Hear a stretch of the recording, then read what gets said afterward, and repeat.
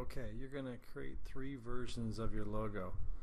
And as you see from the example, you need to have a title, a background image, or rather a background shape, and an image uh, to go in front. So you can see all these have titles, a shape, and a image. So I'm going to show you um, how to do that in Publisher. The best way you can just go down in your search. It's also under Microsoft. So if you click down here and go underneath M's, you can find Microsoft in Publisher, or just type in Publisher and then double click to open. I already have it open, so we're going to go there. And when you start this, just do File New, and then click uh, click on a blank document. Um, once you have it open, you are going to create your first logo.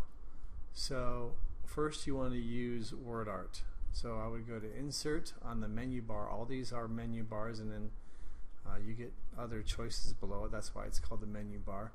Um, click on Insert and then WordArt and then pick a WordArt. So we're going to kind of go, um, they don't have it actually, they just have bottom and top. Let's try with a actual circle around it. So we're going to do WordArt and then type in Chuck Wallace because we are a team and should be plural. And you get this nice circular round word that says Chuckwallas that fills the whole thing. And we'll, we'll talk about how we're going to fill and shape outline and do all that but let's get our picture and our image first. If you not how, know how to search for an image look on the other link in this assignment and I teach you how to search for a transparent image. So you can stop here and go ahead and, and watch that video. Um, and after you're done come back and finish up with the logo. So we're now going to insert our picture that we saved. And as I talked earlier there was one that was transparent.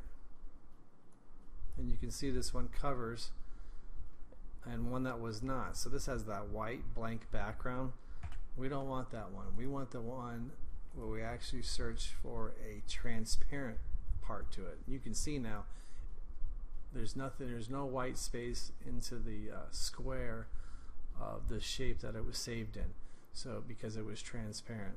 So after we do that, we are going to insert a shape. So if you go to menu bar on insert and we're going to do shapes and you get multiple shapes uh, you can do a lightning, a heart, some kind of star. Let's try this star. Alright, you can always search for shapes online if you don't like any of them. You can see we kind of have three random colors and they're all in the wrong order. They were placed, uh, how they were placed is the order they appear. So the last one I got was the shape, which actually should be the back one. So if I send it to the back, it'll go all the way behind all three of them.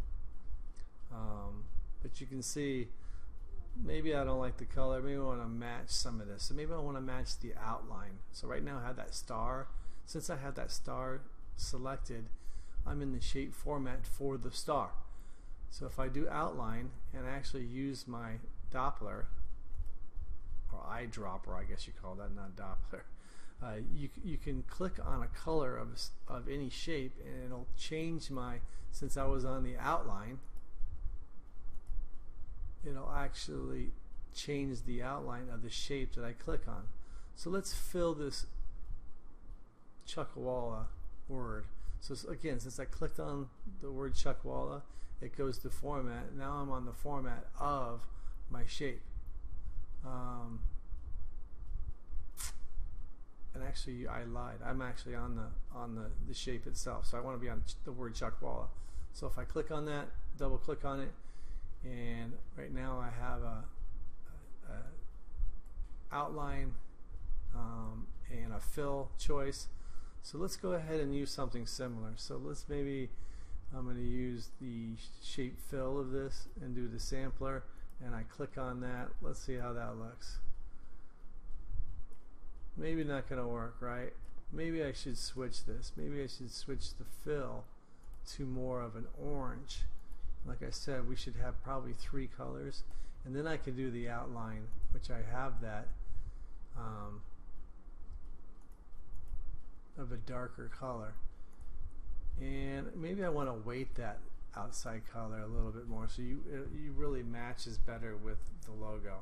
Alright once I have them I'm gonna align those. So let's line them center. So that one's selected. I can select the next one by holding shift to get multiple selections. So now I have two selected. Now I'm going to select the back shape. So now you can see I have one two three selected. I'm going to line those center. And now if I move them since they're all selected they move together and they are completely aligned center. Maybe I want to play with that background a little bit um, and change it to make a larger size I can change that around to make it a little bit better but that's basically a logo. When you're do done with this we are going to place this in Word. So file save as um, let's go to our logo. I'm gonna go back to our image files. So let's go to documents images for logo and this is we'll call this Finished logo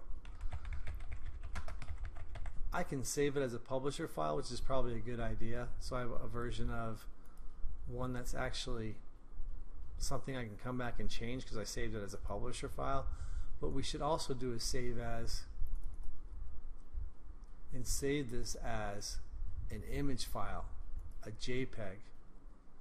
And it's called finished logo and JPEG.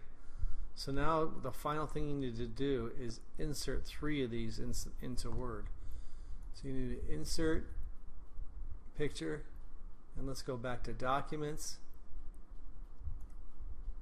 Images for logo and you can say I have my JPEG file. You can't see the uh, publisher file I saved because I just have picture files and those are usually JPEGs and stuff like that. If I do all files you can actually see my finished logo my publisher file in that same folder. But since I'm on picture I'm only seeing images that are saved in image files like JPEGs and GIFs and, and things like that. So this is a .jpg or JPEG. So it's an image file. I can insert that a little bit big because I want to do three of them. So I'm going to click that corner and drag it and make it smaller. It doesn't move around because of my wrap text. If I wrap text and go to through or in front or any of that, I'll be able to move it. So if I do through, so now I can move it around a little bit. Alright, so once you have three on a document, you can file and save this document and save it to somewhere where you can remember where it's at. So documents and maybe just you create a new folder for um, technology work.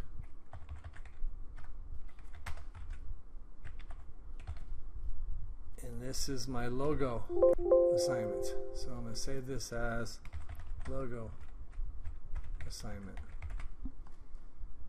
Alright, so my last technology work, logo assignment, and then upload it into your classroom for this assignment.